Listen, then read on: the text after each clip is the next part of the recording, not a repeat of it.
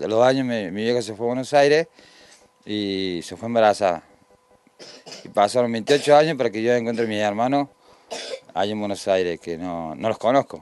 O sea, tu mamá cuando eh, se van, acá te quedas vos con cuántos hermanos? Me quedo acá con dos hermanos más. Con 10 años te quedaste con tus hermanas, tu mamá se va embarazada, o sea, vos sabías que había, Había- un, eh, un hermano más.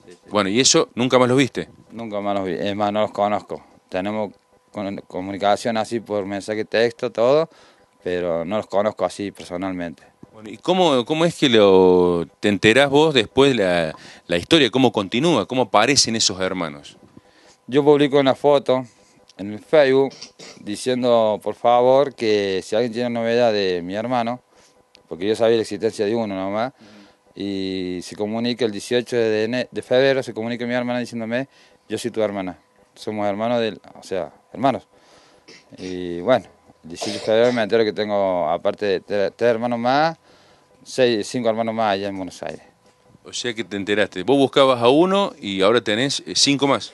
He buscado uno y tengo cinco hermanos más allá, así que los vamos a ir a conocer, si Dios quiere.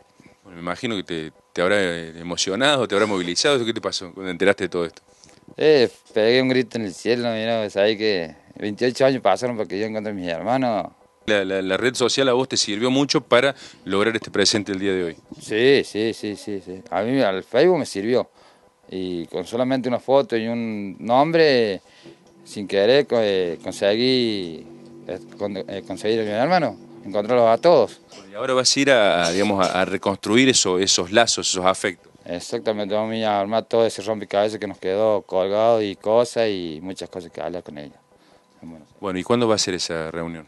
Y si Dios quiere, tengo pensado viajar el 17 de, de, mar- de mayo.